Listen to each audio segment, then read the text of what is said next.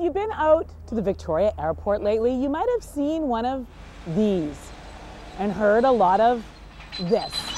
And maybe someone's put one of these signs up to your car. And if you're like me, you're probably wondering, what the heck is going on? We've got an awful lot that's going on right now. We've got we've got our uh, our own road uh, relocation. We'll take a look at that. We've got uh, the, the National Defense has got their new hangar for the 443 Squadron. That's 105 million dollars worth of activity, and we've got Thrifties on the other side of the airport. Uh, superstructures going up right now. That's a 32 million dollar project. If you're a fan of the McTavish roundabouts, you're going to love the new airport road. They're creating another one that you can enjoy as you exit the airport onto Willingdon. We're roundabout uh, crazy here at the airport, uh, or happy, roundabout happy at the airport. And we started the first uh, roundabout uh, on the peninsula with the one at East Saanich and Willingdon. We're extending that here so the traffic will continually flow.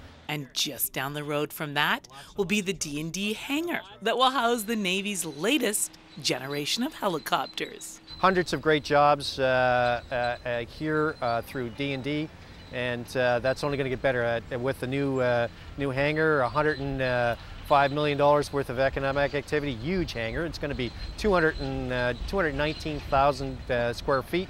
That'll be the biggest building west, or excuse me, north of Uptown. You can look forward to seeing the finished product in about two years. And on the other side of the airport, the $32 million LEED certified Sobeys Thrifties warehouse. Thrifties have spent an enormous amount of money on the design and uh, construction of this facility. It's a LEED development, which is the greenest kind of development that you can make. And just down the road from that, the Victoria Airport Authority is expanding the intersection in anticipation of all the traffic the warehouse will generate. And the total cost of all four projects about $140 million. And for a small municipality like North Saanich, that's quite something. With the efforts they've made, I think it has really been an asset to our tax base, there's no question.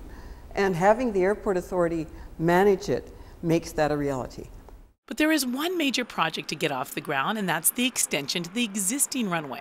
And that would allow big international planes more runway to land on. In the meantime, the Airport Authority continues to add new flights.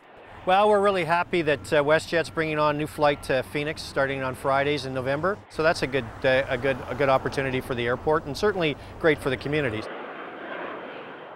of construction that I'm actually thrilled about is the completion of this airport trail. It's going to go all the way around the airport and will be a complete 10K. I just can't wait. From North Saanich, I'm Karen Elgersma for The Daily.